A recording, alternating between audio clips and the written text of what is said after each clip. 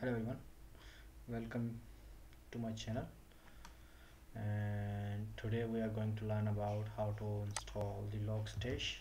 So first we have to download the logstash 8.12 last time we have read about how to install elasticsearch and then we have read about the how to install the kibana and configure with elasticsearch.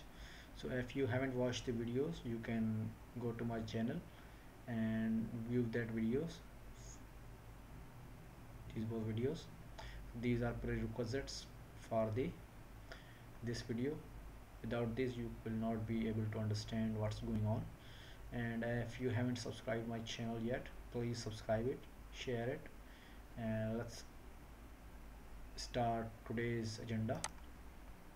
First we will type the download logstash for download logstash okay? We will click here and it will redirect us to the logstash page logstash download page. And from here we are going to select the windows machine as we have already using it. So let me just quickly download the windows version. And it will start downloading the windows logstash and we will wait, for that okay? So now till then we are going to do one thing. We are going to start the elasticsearch and kibana okay? Just uh, open your folder and suppose you want to start the elasticsearch so just go here and type cmd and just type cd dot backslash bin sorry backslash last e tab. Just type e and uh, just type e. Let me do it again for you. Cd space dot backslash and just type e and press the tab button on keyboard. So it will automatically fill out the available available folders name that match with e okay and then I have to go inside that folder and I will just say bin b and press the tab. So it will automatically type the bin. And again I have to type the backslash. I will say there is a name called file name called elastics el so there isn't any right now okay? So I will just type this one. So I am right now in the bin folder of the Elasticsearch. And then I will just say Elasticsearch dot b and this will be elasticsearch dot bat and just hit enter. So first we have entered in the bin folder of the elasticsearch. So now our elasticsearch is completely up and running. You can see this yellow. Our status has been health status of the cluster has been changed to yellow. Current health is yellow. Okay so now we are ready to go. So now we will start up the kibana okay so I will just say sorry. So you have to whatever you have to open like eh, first we have went through the cd method. Now right now I'm just opening the Kibana. Now I am inside the Kibana folder. I will just click here and type cmd and uh, cmd and hit enter okay? So I will be directly inside that folder. So uh, now just type cd space bin to go inside the bin folder and then I type just ki and press the tab button. Press the tab button.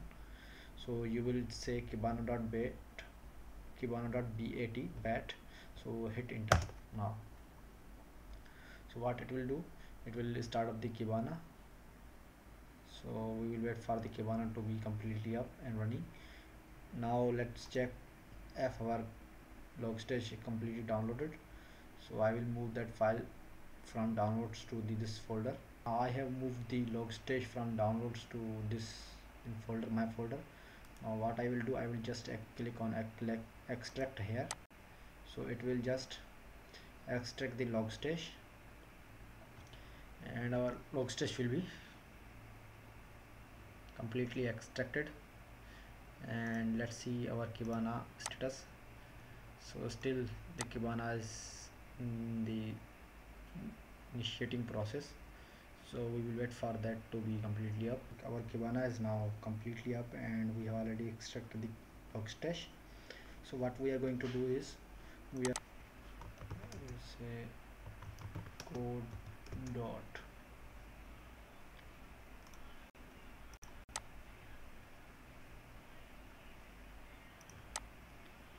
So now our whole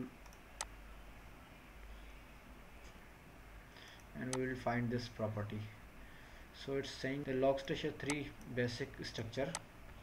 Let me just quickly remove this one. So let me copy this one okay for you.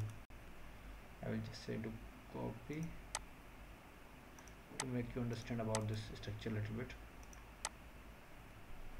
So this is the copy okay. So the basic structure of logstash is input okay there will be input and there will be filter and there will be output. So these three will be the plugins that we are going to use. Input there will be input plugins to get the data inside the logstash and there will filter if you want to do any manipulation or aggregations or removing or any touching in the data then you will use the filters. And if where you want to send the data or where you want to send to the either you can you can send directly to the elasticsearch and elasticsearch will send the data to the kibana visualization. Now if you can you can use many type of uh, beats or file paths or whatever type of input you want to use from where you want to see the data. So this is the basic structure of logstash to run this you first need to rename the file. Let me just say testing log stash okay? Log stash dot conf. So I will just add this pipeline here to your file. So you don't mess up the things. So our path was not correct. So I have just given change the path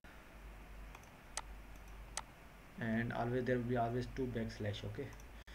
So what I will do I just clear skin CLS and I can run the logstash so now you can see our pipeline is started.